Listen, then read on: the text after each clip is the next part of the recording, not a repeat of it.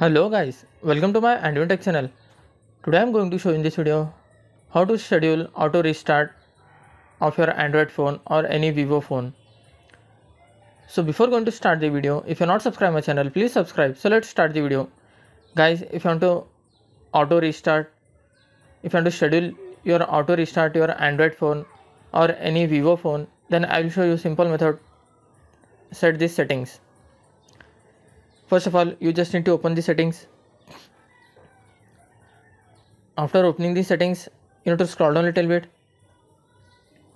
You can see here systems. Just tap on the system. Scroll down a little bit. You can see here task timer. Just tap on this.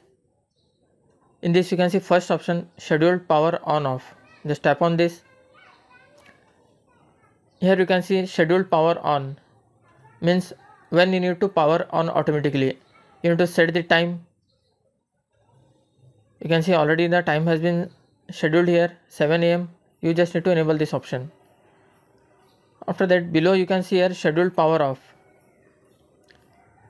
You need to means you need to set the time when it should be power off automatically. You can see it is set as 11 pm you just need to enable this option. Now whenever in morning 7 am it will be powered on and in night 11 pm it will be powered off. It will be done automatically.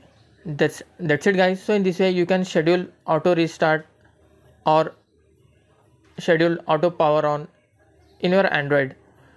Thanks for watching. Hope if you like this video please like share and don't forget to subscribe